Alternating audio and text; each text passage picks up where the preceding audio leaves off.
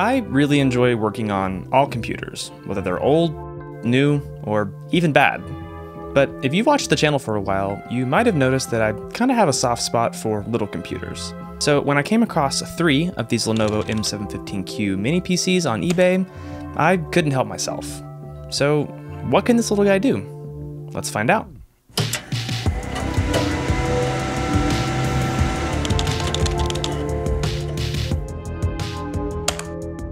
If you saw my previous video, you know that these three PCs were actually broken and being sold for parts, which really tempted me to see if I could get them up and running. And spoiler, I managed to at least get one working. If you want to know how the other two turned out, make sure to go check that video out now before I spoil anything else. But today, we're going to see what this system is capable of and where it might be useful. But what is this? Before I answer that, I want to thank the sponsor of today's video, these people. These are all of my patrons who pay at least a dollar a month to help make buying hardware like this possible. If you want to support the channel as well, you can head over to my Patreon, where you can also get early access to videos, as well as some behind the scenes and bonus content. And all of the money I make from Patreon goes straight back into buying hardware or upgrades for the Hardware Haven channel. So thanks again to all of my patrons for helping to make this whole thing happen. The M715Q is a mini form factor from Lenovo featuring the 4-core 8-thread AMD Ryzen 5 Pro 2400GE, which could be confused with the 2400G. It is built on the same Zen 1 architecture, but has slightly lower clock speeds. However, this comes with the benefit of having only a 35 watt TDP compared to the 2400G's 65 watts. Granted, AMD's way of calculating TDP is a bit odd and not entirely useful, but this should still consume a bit less power out of the box while still providing 4 cores and 8 threads. This APU features Vega 11 graphics, which aren't great, but should provide a bit of rendering horsepower and maybe even good hardware transcoding support. More on that later. This system comes with two 4GB sticks of DDR4 SODIMM memory, but interestingly, the 2400GE, or at least the Pro 2400GE, is actually capable of running ECC memory. But I don't know if this motherboard is capable, and we're not going to be trying that out today. The M715Q has one 2.5 inch drive bay, as well as an M.2 slot for an NVMe drive, but these systems came with no storage. So I'm going to be adding in this Team Group 256GB NVMe SSD that I picked up for right around $20. Oh yeah, I probably should mention how much I paid for these. First of all, I paid $190 for all three systems, including shipping. And then I spent another $8 on a 4GB stick of RAM because one was faulty. I only had one power adapter, so I bought two more for about $20, and then another $60 to get three of the 256GB NVMe drives. So in total, I paid just shy of $280, or about $93 per system. The M715Q has decent I.O., but nothing to write home about. With two DisplayPort adapters, a gigabit NIC, a few USB ports, and 3.5mm jacks for a mic and headphones. I got everything working in the last video, so all I really need to do in this one is get this system cleaned up, drop in the SSD, and add some fresh thermal paste while I'm at it.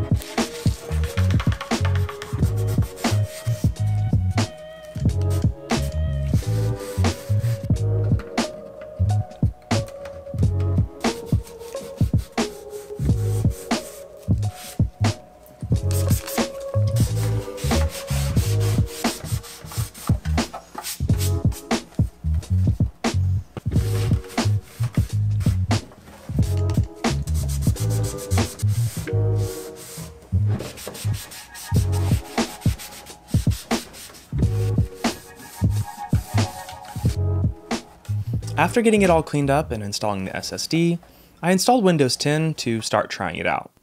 Now I forgot to mention this in the script when I wrote it, but I remembered just now, when I installed Windows 10, I also updated the AMD drivers for the APU, and I also used Lenovo's BIOS flashing tool to make sure I updated the BIOS to the latest version. If you watch the repair video, you'll know that two of these systems, including the one I'm using right now, actually needed to be flashed with a new BIOS because the BIOS had been corrupted. And so there could be some weird stuff with serial numbers and UUIDs or something like that, but I was able to flash it to the latest BIOS and it even asked me if I wanted to update the serial number, which I did. So I think we're all good. It's running, it's working, so yeah. With the four Zen 1 cores, it was no surprise at all that using Windows and browsing the web was pretty snappy. But how well will this machine run some benchmarks? Well, I started off by running Cinebench R23, where it got a multi-threaded score of 3289. I also ran Cinebench R15 to make some comparisons to older systems I've tested in the past, and here it scored a 3-run average of 597. In PC Mark X, it managed an essential score of 7,459, a productivity score of 6,766, and a content score of 3,631. It managed to do all of this while remaining relatively cool and efficient, drawing around 39 watts from the wall while under full load, and only 9 watts at idle. The CPU managed to stay relatively cool, only hitting a max package temperature of 60 degrees Celsius, which was around 39 C over ambient. Now these benchmarks and data points don't really mean anything on their own, so I found it interesting to compare this system to a couple of others I've looked at in the past. I chose to look at the Seeed Odyssey, which has an Intel J4125 and 8GB of DDR4, as well as the Lenovo P310 with a Skylake E1275V5 Xeon, with 16GB of RAM and an NVIDIA Quadro K1200. The 4-core 8-thread Xeon walked away with a solid victory in both Cinebench R15 and 23, but surprisingly lost in all three categories of PC mark to the M715Q. It also clearly pulled a lot more power, with 18 watts at idle and 94 under full load. The Odyssey was obviously the least power hungry of the three, only pulling 5 watts from the wall at idle and 17 under load, but managed relatively measly scores in Cinebench. The M715Q with the R5 Pro 2400GE was a really good middle ground, at least in this specific comparison, putting up respectable performance while only idling at 4 watts higher than the Odyssey. Now, I didn't install Linux on this, and, and wait, wait, I know you're already typing out there about how Windows is trash and I need to use. I know, breathe. It's okay. I love Linux, I think it's great, but I didn't really imagine installing a Linux distro would really accomplish that much for this video, other than, hey, it did about the same as in Windows, but a little bit better. However, I do think this could be a cool little home server, especially with the integrated Vega GPU's hardware acceleration. So to put that to the test, I installed and set up Jellyfin to test out some transcoding. I got a little nervous at first because I couldn't quite get it to work, but then realized I was dumb and using the wrong file type, so when I actually used a 4K MP4 in my library, the Vega 11 was able to transcode down to a much lower bitrate and resolution in real time without breaking a sweat. So this box could be great for a little media server or something like that. You could either use the internal 2.5 inch bay to add an SSD or hard drive, or even add some sort of external hard drive storage via USB. And I know some people really don't like the idea of that, but I don't think a Plex or Jellyfin library is really that mission critical. A few years back, the 2400G was seen as a decent budget gaming APU that could get you started with esports titles and such before you had the budget to add in a dedicated GPU. So I thought it would be fun to put the Pro 2400GE to the test with a few games. I started off with Rocket League at 720p and the performance preset, and while I was basically locked at 60 frames per second, I was still getting a decent amount of stutter, as can be seen in the frame time graph.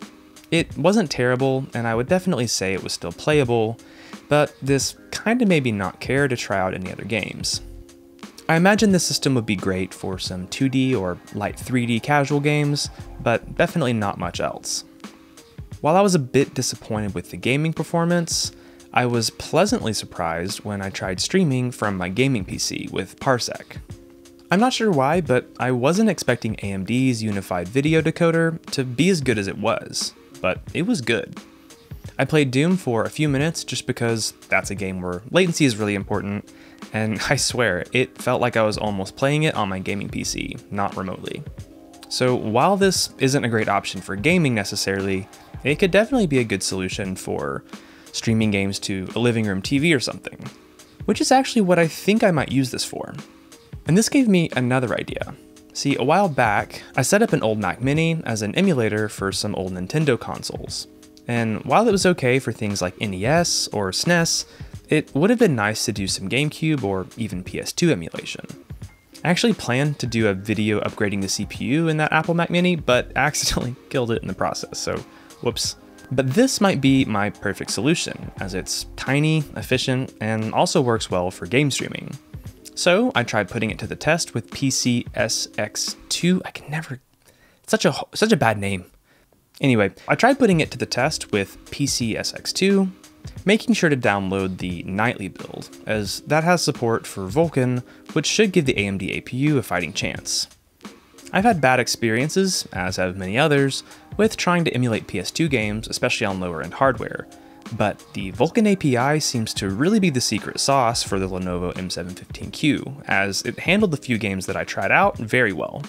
Some of them, like Baldur's Gate Dark Alliance and Need for Speed Most Wanted, only ran at a solid 60 frames per second when at native or just slightly over native resolution. But others, like MX Unleashed, were able to run at a solid 60 frames per second while at 3 times resolution, which is essentially equivalent to 1080p. I probably would have finished this video a lot sooner had I not been so distracted replaying some of the most formative games of my childhood. I was curious to try out some newer Nintendo consoles, like the Switch, but I enjoy not having copyright strikes on my channel. So, what are my thoughts on this? Well, obviously, I wouldn't buy this for gaming, let's just get that out of the way. I didn't test much in terms of productivity, but I don't think that this would be an optimal choice for most software if you're looking to do content creation and such. But for just about anything else, this seems like a pretty sweet machine, assuming you get one for a good price. With its relatively low power draw, small size, and hardware transcoding, it would work well for a little home server, especially for Plex or Jellyfin, as long as you don't need room for multiple hard drives. The CPU performance is pretty solid for most other home server tasks as well. You could even host something like a Minecraft server on here pretty easily. It's pretty good at emulation, at least for something as demanding as PCSX2, and also handles streaming really well. So, as with just about anything, if this seems to suit your needs and you find one at a good price, I'd definitely say give it a shot. If you like this video, make sure to let me know by clicking the button, and if you'd like to see more like this, maybe consider subscribing. I do have three of these, and I plan to do something fun with them in an upcoming video, so hopefully that's interesting. That's about it for this one though, so as always, thank you so much for watching, stay curious, and I really hope to see you in the next one.